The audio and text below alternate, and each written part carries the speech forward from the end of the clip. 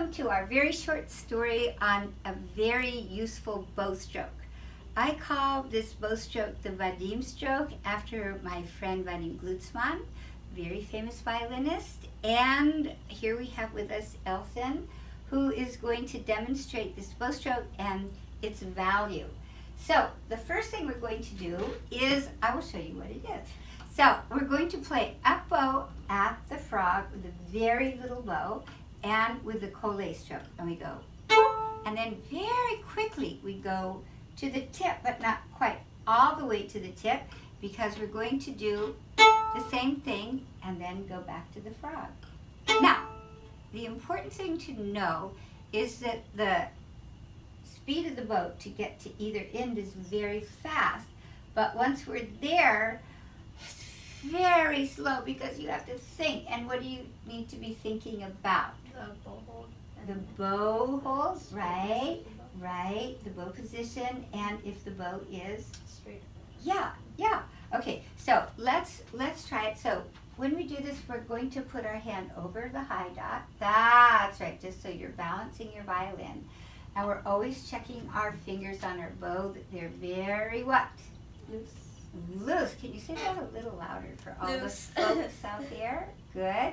Okay, so here we go. Poof, boop. Good. And we're going to go here and poof, pa. Good.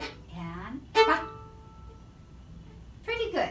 Now, we want to be able to go from here to here without the bow jumping. So that means that we are balancing the bow with our arm. So our arm is doing all the work with a very loose bow position. Up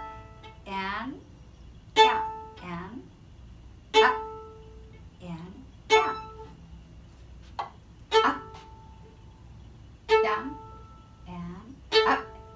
And take as much time as you need because this is where you get to think. Down and up. Now, let's do the same thing on the D string. I'm going to get a little away from you so I don't bump into you. Up and up. Up and down. And take your time here because this is where we relax. Up and and the G string. Now, what do you notice about the G string? You have to open up the arm. Yep, and how about the level? It's. It's going to be higher, right? So up and down and up. Oh, that's good. You almost lost your bow in the air. And down. Okay, very good. Now, we're going to extend that and we're going to now play a whole bow martelé with this open, beautiful tone.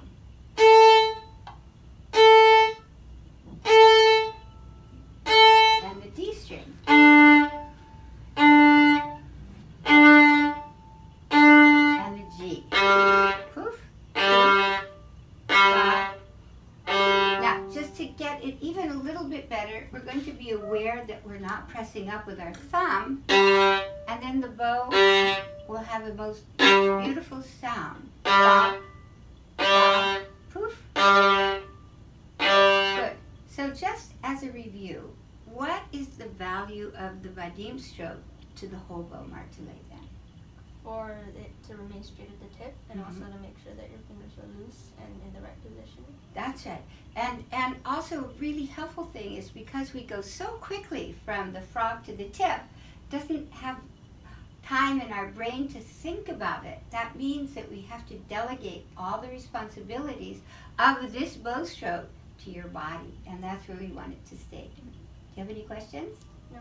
Okay, thanks Elson.